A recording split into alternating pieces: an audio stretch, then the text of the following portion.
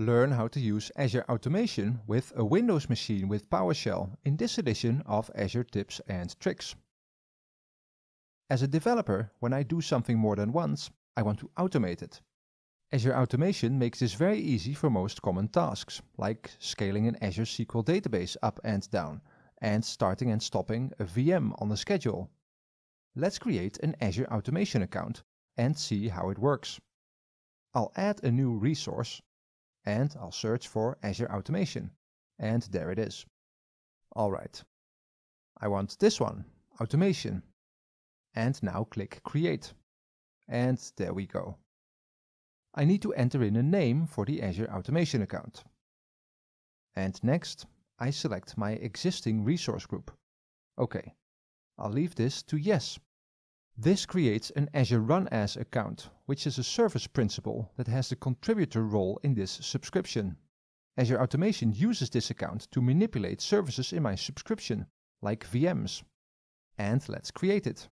This takes a minute or so to finish, so I'll skip to when it is done. Here we go. This is the Azure Automation account. There are lots of things that we can do here, including create runbooks and run jobs.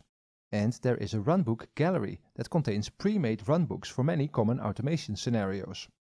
The first thing that we need to do is make sure that the PowerShell modules of this account are up to date. We do that by going to the Modules menu item. This contains all of the PowerShell modules that we get by default with this automation account. By clicking on Update Azure Modules, I can make sure that we have the latest version of these modules. Alright, now let's create a new runbook. I'll go to Runbooks and click Create a Runbook. Now I'll give it a name. And I'll pick PowerShell for the runbook type, as I want to run a custom PowerShell script. You can also create runbooks with Python, or with a graphical wizard if you want. Let's create it. Here I can create the contents of the runbook. I can use pre-made commandlets and other assets. I want to create a custom script that automatically resizes VMs in my subscription.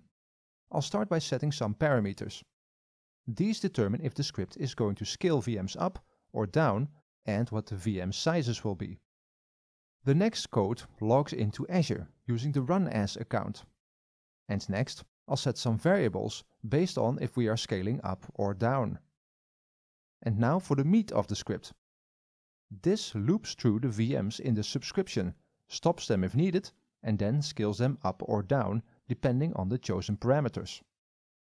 And finally, this line starts the scaling loop. And that's it. Let's save the script and let's test it.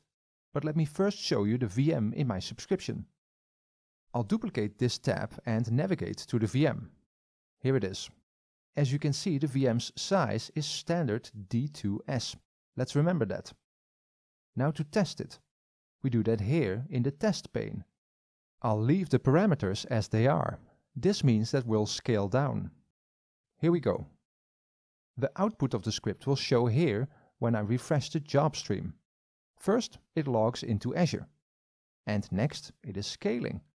This shouldn't take long. And here we go. Scaling is finished.